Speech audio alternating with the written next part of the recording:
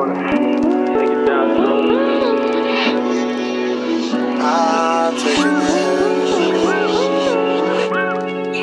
Why you never come to West End?